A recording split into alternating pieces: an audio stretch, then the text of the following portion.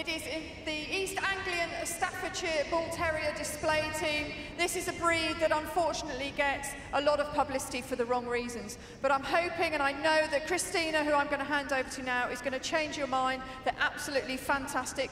East Anglian Staffordshire Bull Terrier display team.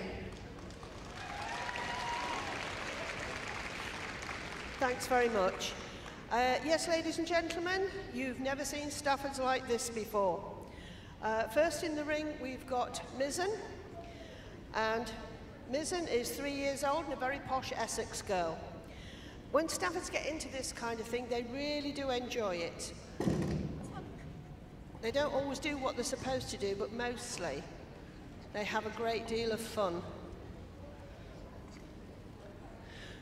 Mizzen is actually known as the Lara Croft of the Stafford world because she very easily scales any gates or fences or gets in her way, and she loves swimming.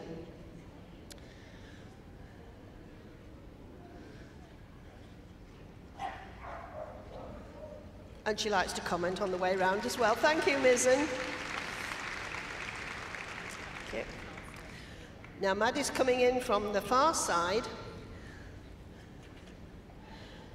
Maddie is five years old and her registered name, would you believe, is Janicasto Bottoms Up. She lives with Rachel, um, her Stafford brother Amber, and Rachel's older dog. Uh, she's a very naughty dog. I don't think she's naughty, I think she just has lots of character. And she certainly enjoys this kind of thing. And she loves flyball, which is what she's doing for you now. So don't blink, you might miss her.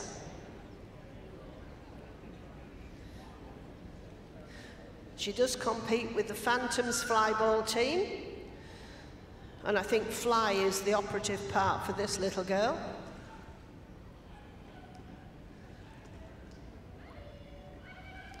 That's it, go, Maddie.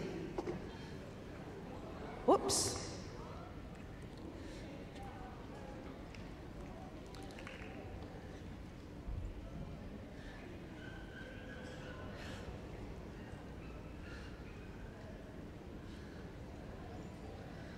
Right, one more. Let's see if he can make this a really fast one, Maddie.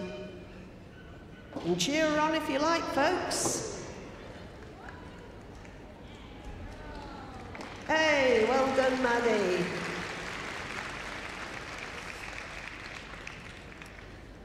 We have Roxy now, coming in just behind me. Roxy is three years old, and she's going to de demonstrate her balancing skills and leg weaving moves. Roxy competes in agility full time and she is currently grade 5. And on the far side of the ring, we have Dixie. Dixie is officially known as Corbenic's In It to Win It. So she's determined to be good at everything she does. She's only 17 months old, so a relative baby. And she's Tina and Pete's first Stafford but they have said definitely she won't be there last.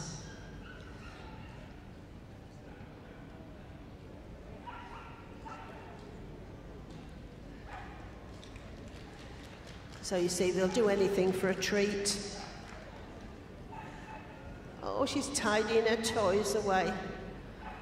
Oh, I wish she could come and train my husband to put his away.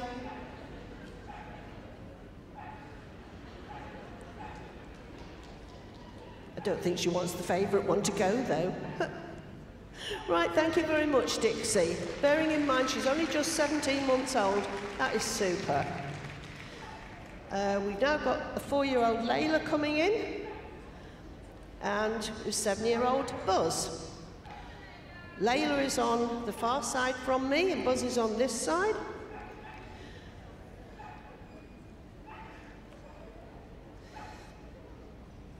And Buzz is a bit like Buzz Aldrin. He can go fast when he wants to, but in his own direction. See, Layla's on the other side saying, this is the way to do it.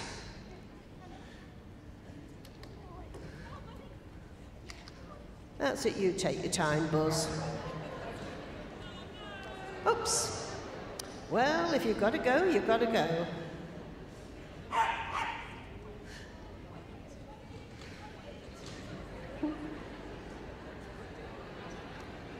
No, he said, I've done that one. I don't want to do that one again, Mum. I'll do this one. Yes, but I'm going to do it slowly.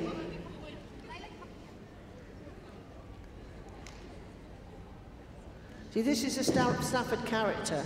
He can go like grease lightning, but not if somebody's watching.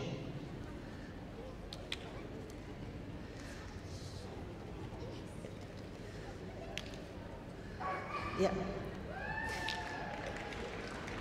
Yeah. Buzz's best friend is a three-legged Maltipoo. It's called Hattie, and he's a great fan of action movies. He's not exactly displaying that at the moment, is he? But He's doing it in his own time. Okay. Do you want to finish him off, please? Oh, she shot him. Oh, poor little dog. He wasn't that slow. Right, we now have Bailey, who's eight years old. Now, Ashley fostered him as a puppy, but as often happens, fell in love with him. So at eight weeks, he just didn't leave, did he? He's on the activity register of the Kennel, the Kennel Club, and he is a frequent visitor to the Kennel Club with his owner Ashley. Oops. And he enjoys his visits too. Ashley works for the Health and Breeder Services Department. Oh, that was a big jump. I didn't think the Grand National was until the end of March, but obviously Bailey thinks it's now. He's done quite a lot of TV work, he's been in a lot of adverts and in some films, so quite the star, really. His favourite things are his bed or his ball. That was a great round, thank you, Bailey. Incidentally, Staffordshire Bull Terriers are one of only two breeds recommended to be with children. Of course, you'd never leave a child alone with any breed of dog um, because they're unpredictable. And yes, I do mean the children. But as I say, there's only two breeds that are recommended for children, and this is one of them. We've now got Lewis in the ring, and he's going to show you Temptation Alley. This means lots of favourite toys, humans who obviously they love, and the biggest temptation, a small human. And he's got to come through and ignore them all, including the football. I know England desperately need you, but not today.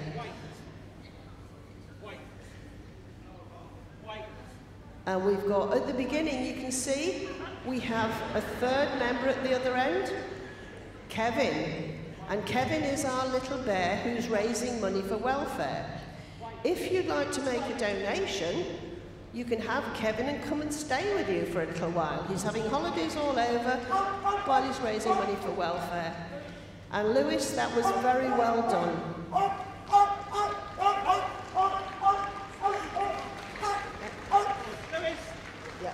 And if you're back here on Saturday, you will see Lewis showing in the breed classes because he is a show dog as well. Next we have Mice. Mouse is Java Wolf Mighty Mouse, and mighty he is. Um, he has two, receives, two reserve CCs, and he's running today, if you see, with a camera. So there will be some action shots It'll probably be about 10 seconds long at the speed he goes, so if you watch it, put your recorder on slow, or you may miss it. He only needs a little blue cape, doesn't he? I'm sure he could fly. He's a male model. He's appeared in training videos for Dogs Trust and in adverts for Bowden, Bench, and he's also been in EastEnders. So again, quite a star. That's our Mighty Mouse. Next up, we're having Murray. Murray again is a relative youngster, being only 20 months old, and Mouse is his dad. He was born and bred in Holland, and he's the, one of the Quint Quintlet Staffordshire Bull Terriers who we thank for this handsome boy. His, his name Murray comes because he's named after Andy Murray. Obviously, mum and dad are fans. Um, and he also lives with an Australian Kelpie. He's just starting out on his agility career, and we're hoping that he's going to do us proud. It's a nice weight, and they all love the tunnel.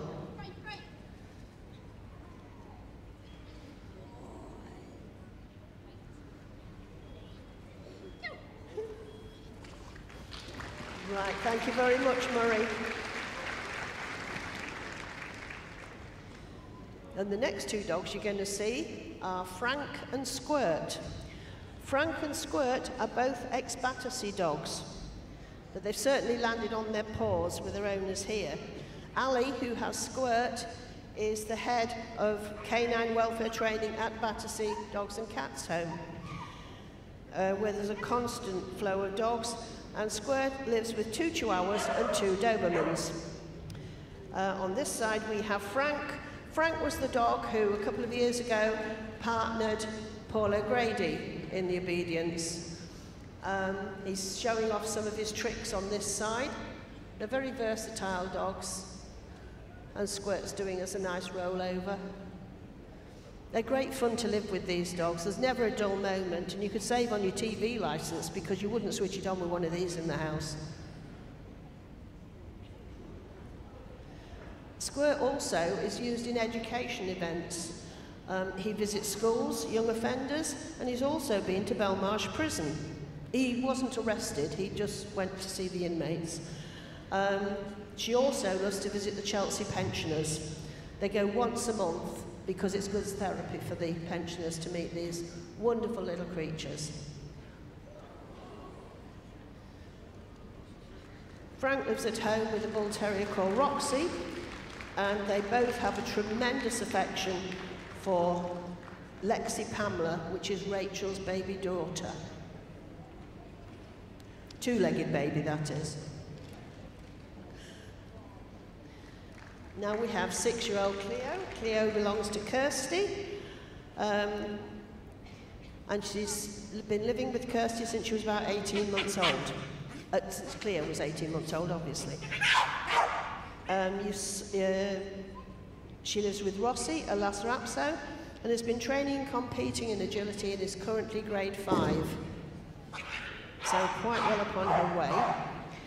Kirsty's a dog walker, and Cleo loves joining the other dogs when they have a walk and loves her breakfast. She also likes singing, as you can hear. Um, you can also hear Belle, she's quite a vocalist. She loves to be seen and heard, so obviously never a dull moment. And she's the, the Fruit Loop in her family, and her nickname is Nutty Nora. But we all do that, don't we? We spend ages and ages selecting a name for our dogs and then call them something entirely different.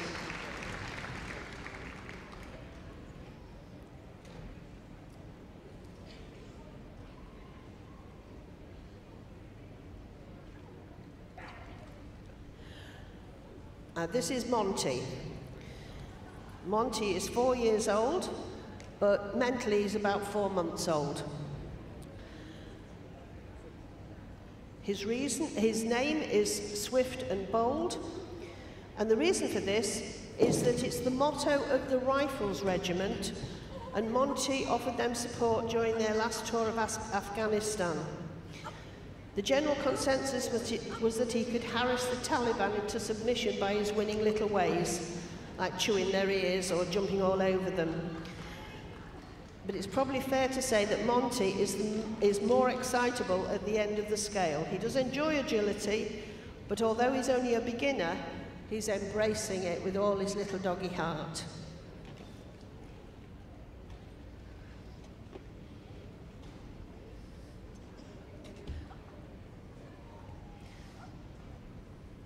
If you live in Suffolk, this is one of your neighbours. He lives there with an elderly cat who's now retreated to live upstairs to pres preserve her sanity. Thank you very much, Monty. Um, our next dog in is, we're going to have Blake. He's going to show, he's a big fan of Tommy Cooper. So you're going to see one of his Tommy Cooper tricks. Now Blake is a blue dog And please don't be conned into buying a blue Stafford because it's extremely rare and paying thousands of pounds for it. Because blues are 60% of all Staffords registered. It's not rare at all. It is a regular colour in the breed. So here he goes, cage dog, dog cage. Lock him in the cage, make sure it's securely shut. That's it. Bit like bottle glass, glass bottle. But this time it's dog cage, dog cage.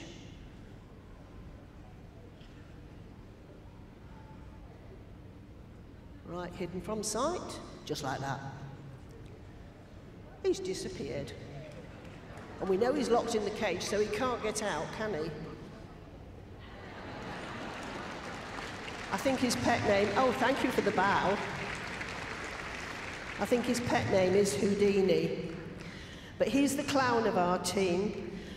He is, um, he has begun to compete in agility, but obviously he's very good at tricks. He's also a show dog, and he too will be competing here in breed classes on Saturday. He lives at home uh, with Darren, his partner, their children, and two other Staffords. And if you want to come and see the dogs afterwards on the benches, come and ask Blake what's his favourite breed, because he will tell you. I'm not going to tell you now. You come and talk to him. He will tell you the name of his favourite breed. I kid you not. Bring tissues because you'll cry with laughter when you hear what he says. We've now got bacon and away from this kind of competition, she's been starring in Dogs Trust videos and she's in the current Pet Plan advert in Blue Peter, on Good Morning and Channel 4 drama as Top Boy, Marley the Dog. And on the far side we've got Dakota.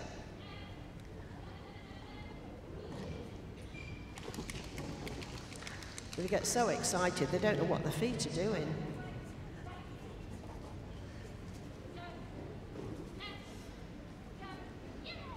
Dakota and Bacon were both bred by Joe.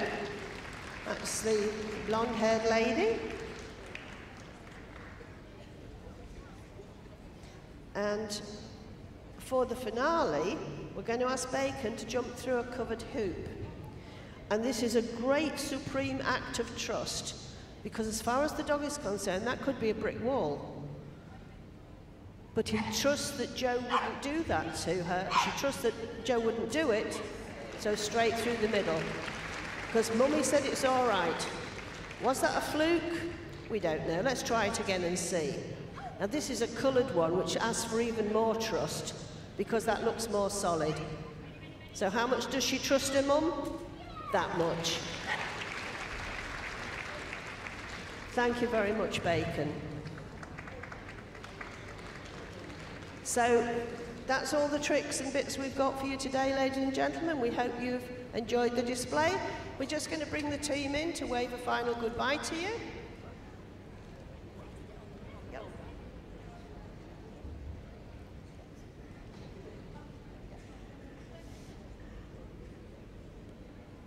Well, we've got two of the team. I think the rest are coming. And as I said, if you want to come and meet the owners or you'd like to come and meet the dogs, we will be on the benches out just behind the arena here. You are more than welcome. And definitely come and ask Blake what his favourite breed of dog is.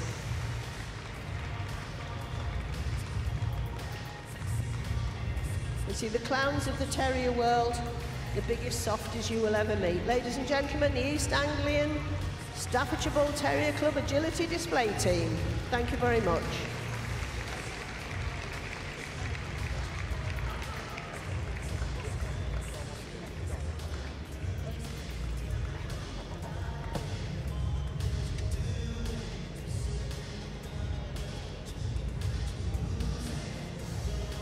Well, folks, do keep your seats. We're going to clear the arena now, and we've got heel work to music coming up.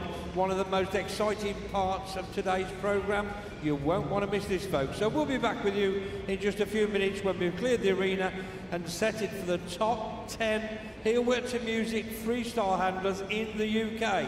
Don't forget, we're one competition each day, and we started with the freestyle section. You won't want to miss it. So we'll be back with you very shortly.